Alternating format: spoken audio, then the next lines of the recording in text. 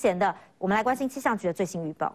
鹅銮鼻的呃南南东方大约六百三十公里的海面上，目前它近中心最大风速是每秒五十三公尺，哦，所以提醒大家，它是一个强烈台风。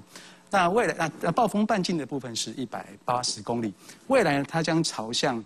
啊，巴士海峡的方向上来移动，那对我们的巴士海峡已经构成威胁了啊！所以我们今天早上五点三十分啊，就针对第十四号灿出台风发布了海上台风警报。那提醒在巴士海峡的航行作业船只一定要严加的戒备。那海面上的提醒，除了船只之外呢，我们在今天开始要特别留意啊长浪的部分。目前在台东的沿海已经观测到长浪的现象，预计未来呢，在基隆北海岸东半部。恒春半岛以及外岛的澎湖、金门呢，呃，都有长浪发生的几率。那明天台风渐渐的靠近，各地的风啊跟浪也会逐渐的增强。那到了礼拜天的时候呢，啊，各地的风风势跟浪啊跟风浪呢都是比较偏大的。那提醒大家，除非必要，那尽量避避免前往在海边的活动。那至于整个台风的呃。动态呢？我们什么时候最接近？那什么时候开始远离？我们由前视路径预报图来为大家做个说明。那从前视路径预报图来看哦，明天台风是比较接近的。那到十二号的时候呢，啊是最靠近我们的时候啊，所以呢各地的风雨呢，从从明天会开始增加。那十二号的时候是相对是比较明显的时候。明天在台风接近的时候呢，啊主要的下雨的区域呢。会在东半部跟恒春半岛以及部分的南部地区，那其他的地方呢，在则是在午后之后的下雨会比较明显。那特别是在东半部地区恒春半岛啊，明天可能出现局部性的大雨或者是豪雨。礼拜天的时候呢，各地的天气都是比较不稳定的。那在啊中部以北那。东呃东北部跟东部呢，有可能出现局部性的大雨，还有我们南部山区也有可能出现，呃呃南部跟东南部的山区也有可能出现局部性的大雨或者是豪雨。那其他地区呢也会有一些短暂阵雨。那特别提醒，礼拜天的时候呢，在北部啊东北部地区呢，还有可能出现局部豪雨上的等呃的雨势。所以周末这两天风雨的影响最明显，那大家一定要特别的注意。那至于天气的提醒，今天天气的提醒部分呢，我们由周首先由云图来为大家做个说明。那今天可以看到，今天台台湾地区呢，主要呢还是受到太平洋高压的影响啊，所以在太平洋高压影响之下，今天要特别注意反而是高温的部分。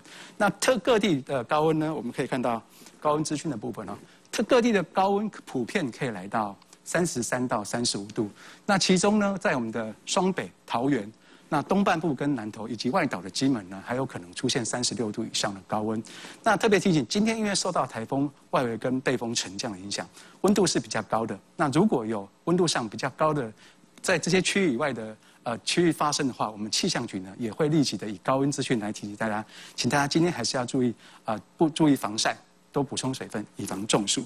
那至于今天下雨的部分呢？呃，我们从定量降水预报图来看，今天的雨势其实主要还是午后雷阵雨的情况上为主哦。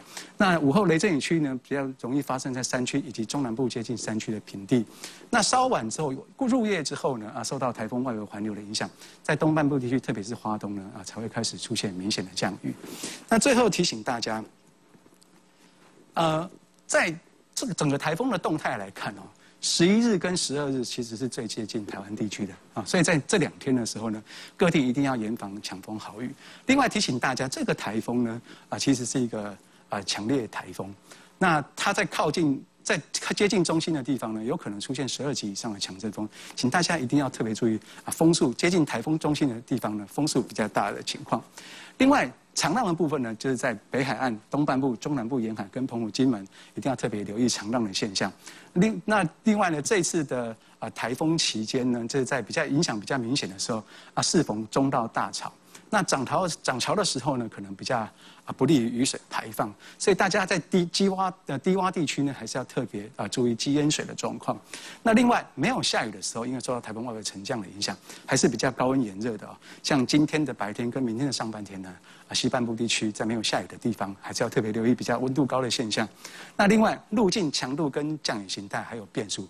目前呢，呃，在我们如果回到如如果从目前来看呢，在台风偏西。偏东跟偏西一点的状况，都还是有可能呢。如果比我们目前的预报路径要来的偏西一些的话，那除了影响比较大的东半部跟北部地区之外呢，啊，另外在中南部的影响呢，也可能会增大啊，请大家一定要特别留意。以上是这节啊记者会啊天气预报的内容。好的，接下来进行媒体提问的回复。